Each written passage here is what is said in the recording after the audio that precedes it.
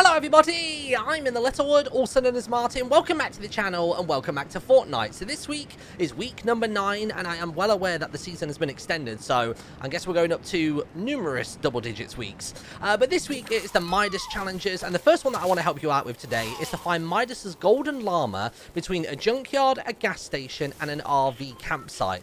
So that's your RV campsite right about there. You've got your junkyard right about there and you have got the gas station right about there. So of course it's going to be this building just beneath us, which on the map, if you're looking over here, you're looking in the lower part of G3 to the east of Frenzy Farm, and when you get to this bridge, you're looking inside of this building, and I'm sure there are going to be a ton of people coming here, uh, but just in case, inside you go, and there's the Golden Llama, give it a search, and everything's done. Fantastic. Thank you very much for watching. If you did find this video helpful, then be sure to leave a like on it. Thank you, thank you, thank you to everybody using my creator code right now. Again, week on week at the moment through this um, pandemic, it seems to be going up and up with you guys supporting me. It's really appreciated. Thank you so much. It's in the bottom left corner of the screen. Have a good one. Bye-bye.